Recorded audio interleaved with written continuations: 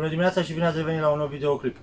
Mă numesc Gherghina Daniel și în videoclipul de astăzi vreau să vă arăt butașii mei experimentali pe care i-am făcut în uh, ultimele 3 luni de zile și nu vi-am arătat. și în acest videoclip vreau să vă arăt și rezultatele butășirii la mâna Maicii Domnului. O să încep cu mâna Maicii Domnului. Aici este o, una din alveolele pe care le-am făcut.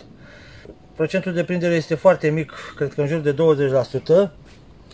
Dar nu mă deranjează pentru că îmi ajung plantele care le-am obținut. Uitați ce rădăcină are acest butaș. Rădăcină făcută cam într-o lună și jumătate. Acum eu acești butași o să-i mut în pahare. Cred că de 7 pe 7 pe 8. Vedeți, din 2 nu s-a prins decât unul singur, dar are o rădăcină foarte, foarte bine dezvoltată. Să mai arăt încă unul. Acesta este mai lemnificat. Dar tot așa, din doi butași nu s-a prins decât unul. În continuare vreau să vă prezint acești butași pe care i-am făcut experimental și la rugămintea unor uh, cunoștințe. De exemplu, aici avem tarhon. Eu de-a lungul anilor am încercat să obțin tarhon de calitate, tarhon care să aibă o aromă plăcută, din semințe. Am semănat de 3-4 ori semințe cumpărate din comerț și plantele obținute nu, nu aveau niciun miros, era chiar un miros plăcut. Și am găsit la o doamnă în grădină acest arhon care are un miros deosebit, o aromă foarte plăcută și am tăiat de acolo câteva ramuri și am făcut acești butași. Și am făcut cum îi fac eu de obicei, Aici nu se vede, dar și acesta are rădăcină. O să caut unul la care se vede rădăcina. Uitați, avem rădăcină, da? Au în jur de o lună de zile. Uitați, avem rădăcină. Și după părerea mea este singura modalitate prin care putem să obținem plante identice cu ceea ce vedem. Dacă vedem la cineva cunoscut o plantă care ne place, prin butășire obținem plantă identică cu cea pe care am văzut-o. Și aici avem rădăcină, dar nu se vede foarte bine. O să trecem mai departe. Aici avem uh, crăciunița tip cactus. Crăciunița care înflorește exact înainte de Crăciun sau nu mă deranja, se mai spune popular și nu mă deranja. Tot așa, de la o cunoștință avea un ghiveș foarte, foarte, foarte bogat pe care vrea să-l să-l micșoreze, să-l tundă. și am luat câteva ramuri de acolo și am încercat uh, prin metoda pe care o folosesc eu. Aceste frunzulițe le-am pur și simplu le-am înfipt în substrat. Și acum împreună cu dumneavoastră o să verific și dacă avem rădăcini și ce rădăcini avem.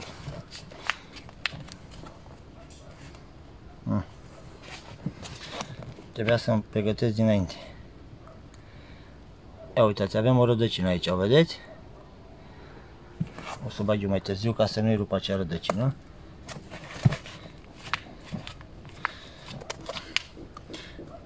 Acestea pe care vi le arăt este o, un alt soi de crăciuniță cactus care are frunzele exact așa cum să văd aceste frunze. Ia uitați. Și aceste frunze mici este crăciunița cea mai comună pe care mulți dintre dumneavoastră o aveți.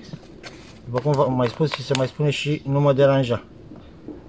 Este foarte ud alveola. Uitați, avem rădăcină. Deci acest uh, mod de rădăcinare la această plantă funcționează foarte bine. După cum se vede, avem și fără rădăcină. Era culmea să avem un procent de prindere de 100%. Dar oricum în aceste două alveole am cel puțin 100 de plante. O să le mai las câteva săptămâni așa, 2-3 săptămâni în forma asta, după care o să le mut în uh, pahare mai mari. Aici am câțiva lăstari de alocasia pe care am găsit pur și simplu la gunoi. Cineva să se, cred că și-a curățat plantele din casă și o fi fost foarte bogate erau încă verzi. Am luat uh, aceste ramuri venit cu ele acasă și le-am pus în apă să văd dacă se întâmplă ceva cu ele. Și uitați că după aproximativ 30 de zile am prima rădăcină.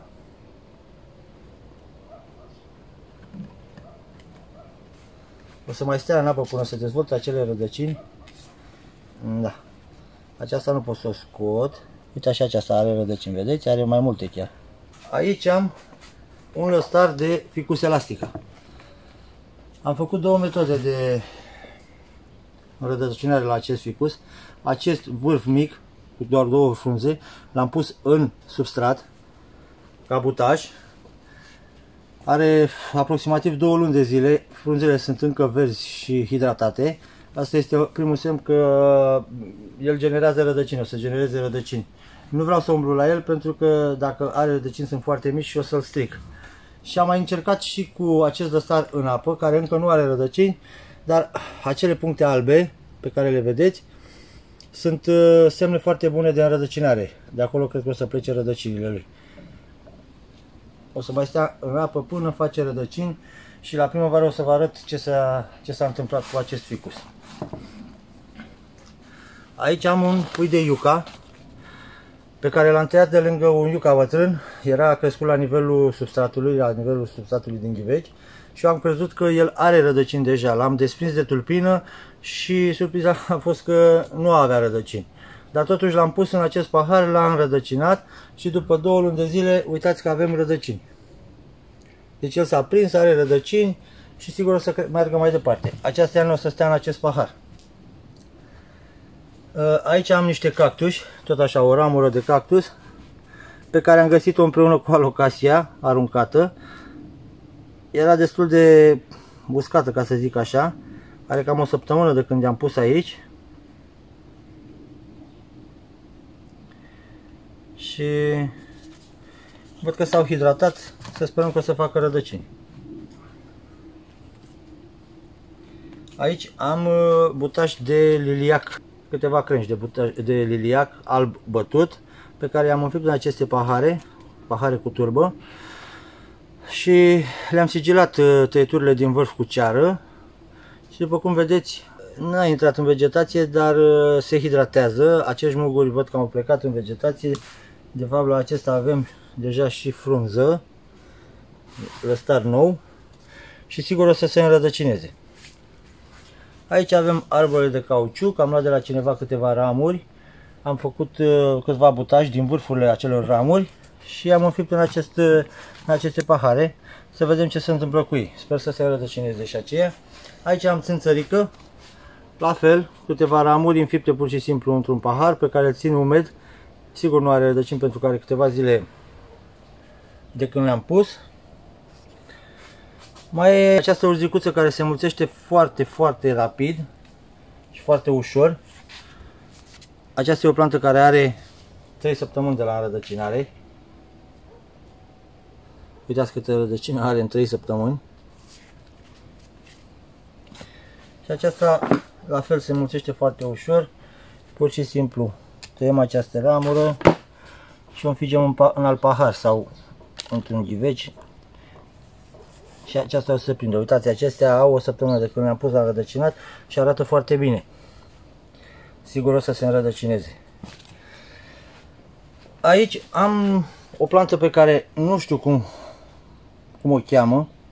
Am găsit-o la cineva în grădină, la doamna de unde am luat și tarhonul. Dânsa mi-a spus că ar fi rozmarinul românesc. Mi-a plăcut cum arată așa ca, ca și plantă. Este o plantă care se lemnifică ramurile. Era înalte la un metru cam un metru, mi-a permis să tai o ramură de acolo și am făcut acești butași. Să vă știu despre ce e vorba. Chiar v-aș ruga, dacă știți despre ce e vorba, să-mi lăsați un comentariu să-mi spuneți ce este această plantă exact. După cum v-am spus, doamna mi-a spus că este rozmarinul românesc și că ar fi foarte bun la, pentru ceaiuri, să, pentru diferite afecțiuni, mai ales durere de cap. Uitați-vă cât de bine s-a înrădăcinat în uh, aproximativ o lună de zile. Aici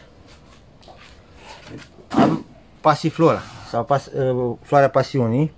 Acești butași au în jur de 10 zile de când i-am uh, pus la înrădăcinat.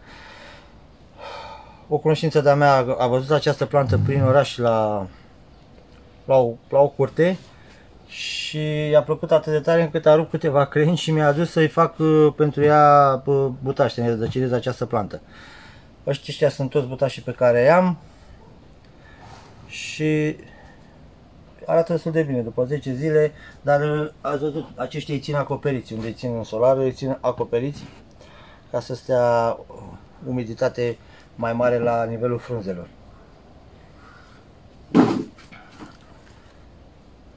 Aici avem butași de Ficus Benjamin.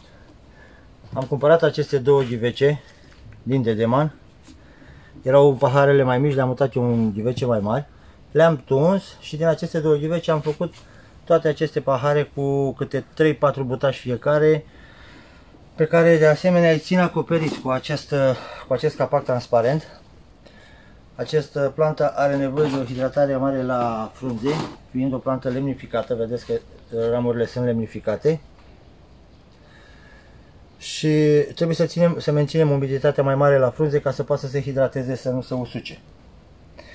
Acum o să vedem rezultatele această plantă, cred că peste cel puțin o lună de zile, chiar două luni de zile. Oricum cert este că în această iarnă acești butași o să stea exact în paharele acelea, nu o să le mai mut. Abia în primăvară o să văd ce, ce o să fac cu el. Am schimbat puțin aranjamentul. Aceștia nu mi-au încăput pe masă prima dată. Aici este vorba despre Sanseveria sau Săbiuță. Această plantă, deci toate aceste ghiveci au fost cuplate într-un singur ghiveci pe care l-am despărțit. Am făcut o împărțire de tufă, am obținut aceste șase ghivece și ele fiind foarte înalte, aveau peste un metru, am tuns aceste frunze și mi s-a părut, uh, nu mi s-a părut în regulă să le arunc și am zis să încerc să fac butași așa cum îi fac eu. Am tăiat acele frunze și le-am pus la rădăcinat în această alveolă și ce credeți? De chiar a făcut rădăcină. Ia uitați, avem rădăcină și chiar foarte bine dezvoltată. E adevărat că are în jur de două luni de zile de când stă în aceste alveole și cred că o să stea până la primăvară.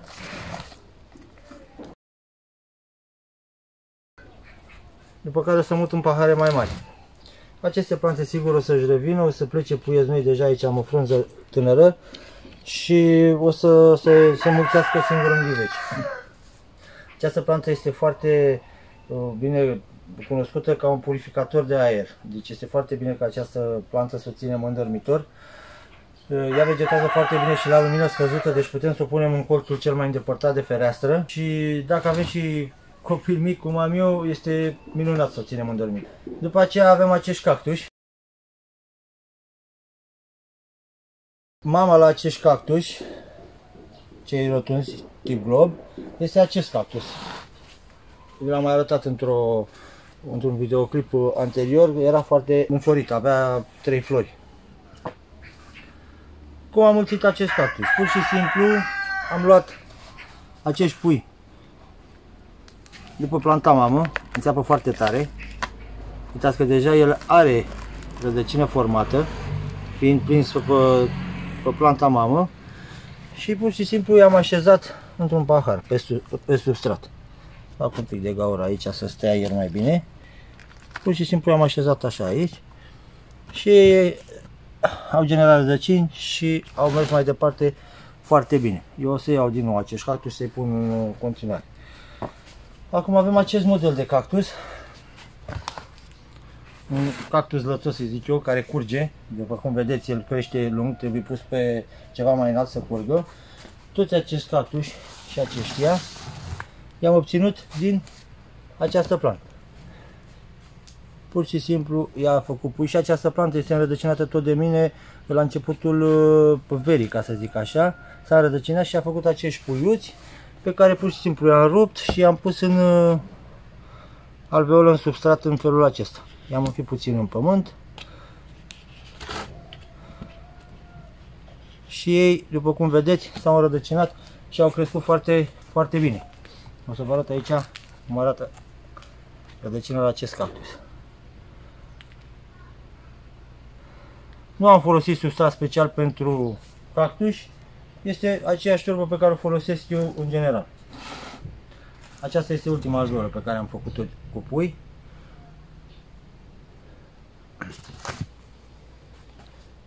Acești trei cactuși sunt obținuți din semințe. Am cumpărat un plic de semințe de cactus. Mi-a plăcut ideea să mulțim cactusii prin semințe, dar uh, din 200 de semințe cât au fost în acel plic, nu am obținut decât aceste trei plante. Nu pare rău pentru că sunt uh, deosebite ca și formă. După cum vedeți aici s-a întrerupt prima frunză și a plecat a doua perpendicular pe prima. O să vedem ce se întâmplă și cu acești cactus, să vedem dacă putem să-i mulțim și pe aceștia în același mod cum i-am mulțit pe ceilalți. Să trecem la planta ZZ sau Zamioculcas. Această plantă, acest ghiveci, eu l-am cumpărat în luna mai. O să vă pun o poză în continuare să vedeți cum arăta acest ghiveci când l-am cumpărat. Am venit cu el acasă și la fel ca și la, ca la săbiuță, am făcut o împărțire de tufă. Eu nu știam nimic despre, cea, despre această plantă și mare mi-a fost uh, mirarea când uh, am constatat că rădăcina lui este un bulb, un cartof, de fapt. Dar dacă tot îl scosesem din uh, ghiveci, am secționat acel cartof, am căutat să las pe fiecare bucată de secțiune și ramuri și am obținut, au fost 10 ghiveci, acestea 3 mi-au mai rămas, în afară de, de planta mamă pe care am oprit cel mai mare cartof și l-am pus înapoi în același, în același ghiveci. Ceilalți șapte i-am dăruit și eu la alte persoane pentru că cine venea la mine le plăcea și am dat și eu câte unul. Și acești trei pui mi-au rămas, au fost cei mai mici. După cum vedeți, la acesta deja am o ramură nouă, cum de altfel și la ghiveciul mamă am aceste două ramuri crescute frumos din interior. Asta dă, îmi dă un semn că planta merge foarte bine și sunt convins că o să se mulțească din nou. Uitați, deja aici avem un alt vârf, de aici o să se nască o, o, o ramură, genul, genul acesta. Ce mai e curios la această plantă, că am făcut o butășire, așa cum fac eu butășirile, din ramură tăiată. Când am împărțit tufa o ramură, mi-a rămas fără cartof și am zis să nu arunc, să încerc să fac butași. Tăiați cum îi fac eu. Vedeți, ei nu arată foarte bine, au 3 luni de zile de când stau în paharele astea, dar în condițiile în care ei sunt încă verzi, hidratați, eu consider că ar trebui să aibă și rădăcină și o să controlăm împreună cu dumneavoastră. Acum să vedem ce am obținut aici.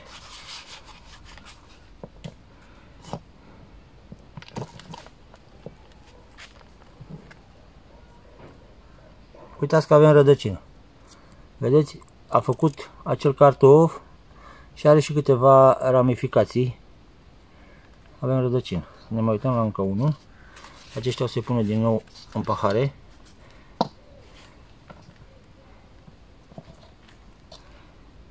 Ia uitați și la acesta. Avem rădăcină. Vă dați seama că genul acesta de mulțire, dacă aș face acest gen de mulțire la această plantă, aș obține, nu știu, cred că în jur de 30 de butași. Adică mi se pare că este cea mai bună metodă de mulțire, obținem cel mai mulți pui din aceste plante.